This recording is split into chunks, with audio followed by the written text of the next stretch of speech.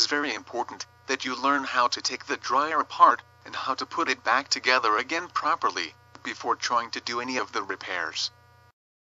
Always disconnect the dryer from the wall outlet before doing any work on it. Remove the lint filter. Unscrew this two screws. Use a flat screwdriver to pry open the top panel. Lift the top panel and lean it against the wall.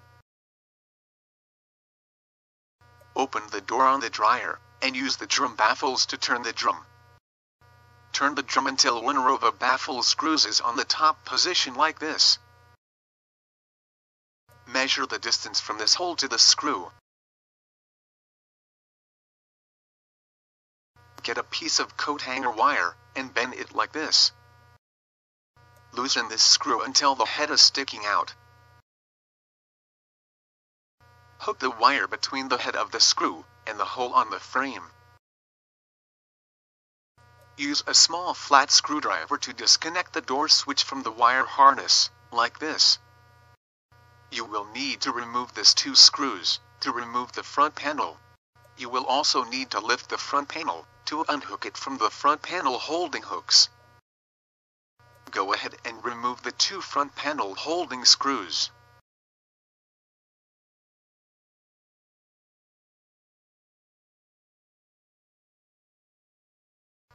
Push the front panel out a little bit, to disengage it from the drum. Lift the corners of the front panel, to unhook it from the two front panel holding hooks. And move the front panel away from the working area. The coat hanger wire holds the drum in place, and it makes it easier to work. Disconnect the belt from the motor pulley, and remove the idler pulley.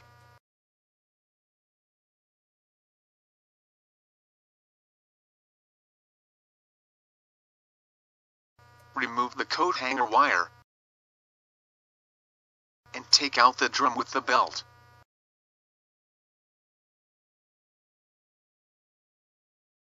Now you can get access to the drum rollers, the idler pulley, the motor, and the blower wheel. Let me show you how to put it all back together the right way. Put the drum inside of the dryer, on top of the drum rollers turn the drum around to make sure that the drum is riding on top of the rollers and the rollers are riding on the groove of the drum. Find the drum baffle screw that you loosened before, and make sure is on the top. Hook the coat hanger wire from the head of the screw to the hole on the back panel.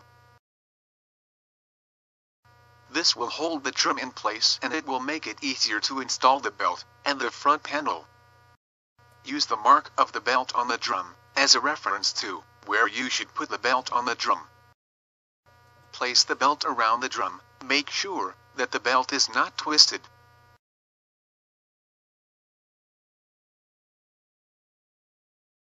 Make sure that ridges on the belt are facing the drum.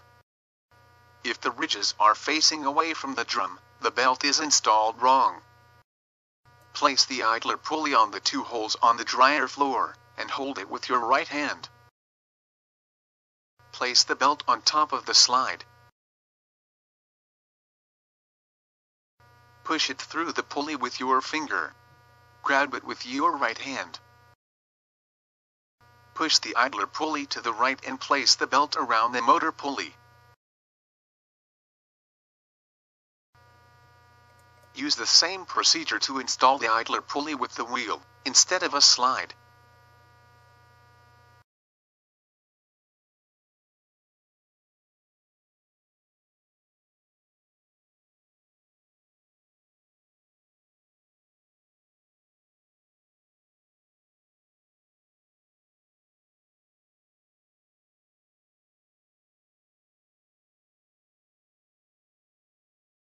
Place the front panel in front of the dryer.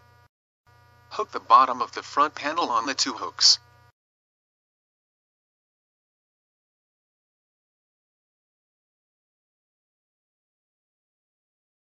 Secure the front panel with the two holding screws.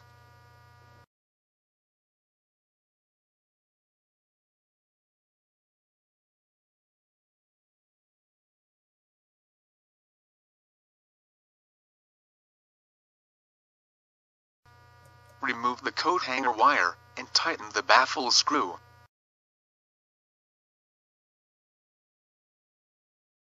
Turn the drum to make sure that the front of the drum rides on the front felt bearing. Also make sure that the rear drum seal is sealing properly. Use a flat screwdriver to set it back in place.